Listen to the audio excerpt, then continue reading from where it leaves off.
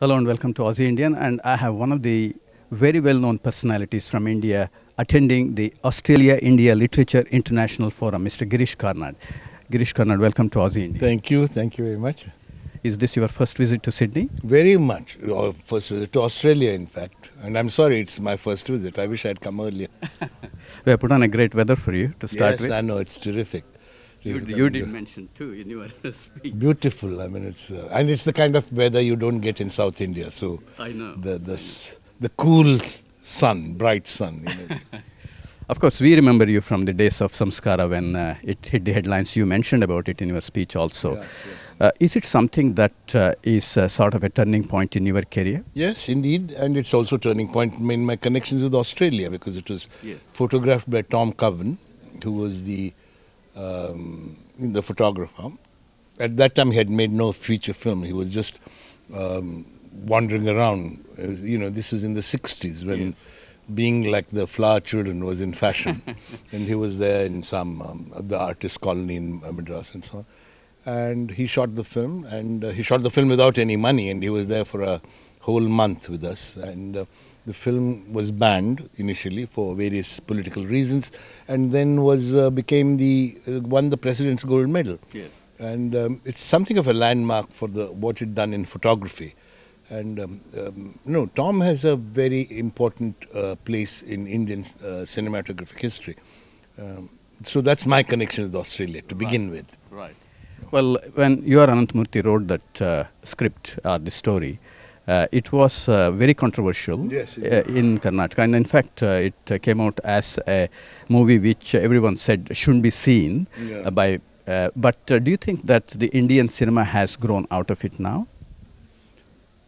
Grown out of in what sense? Uh, well, those controversies and they are uh, prepared. no controversies Oh, carry on. That is now, of course, samskara is accepted as a, uh, you know, something of a classic, the book, and so is the uh, uh, film. You know, uh, and so no one worries about it. But other controversies come, and they come and go. India, as you know, is a controversial place, and uh, people are claiming to get hurt all the time. But I mean, you th- that goes on. Of course. Uh, do you still have a passion for writing? I have a passion for writing. I still write plays. If uh, you know, I'm basically a playwright, Yes. and um, I write plays and just keep writing plays. I can't do films. It requires too much energy. I'm too old to direct a film.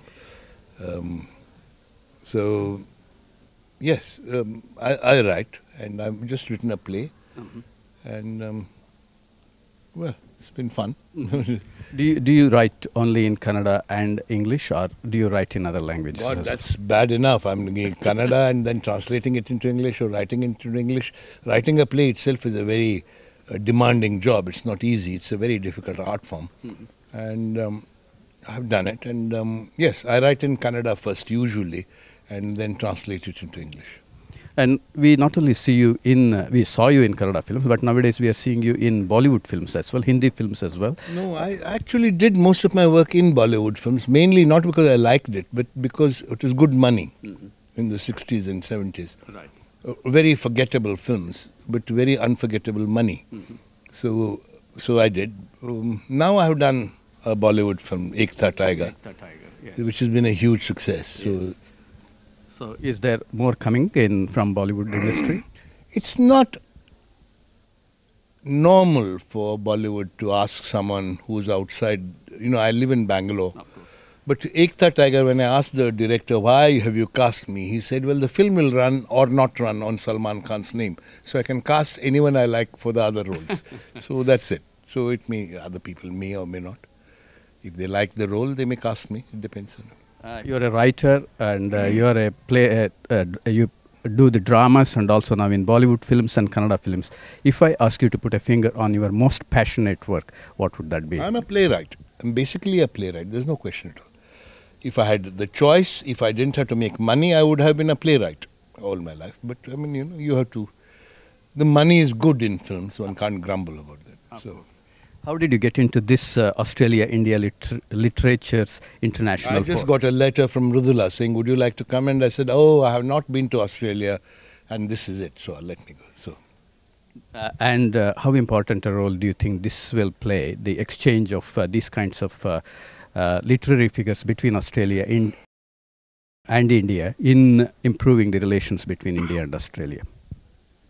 Well, it's a beginning. It can go on. You know, it, it, it's we are writers are intellectuals. They can shape the intellectual atmosphere, and therefore, know, getting to know each other, um, you know, can can can help. Like uh, it's not just writers. Like Tom Cowan, you know, as something of a, a legend in Kannada film history.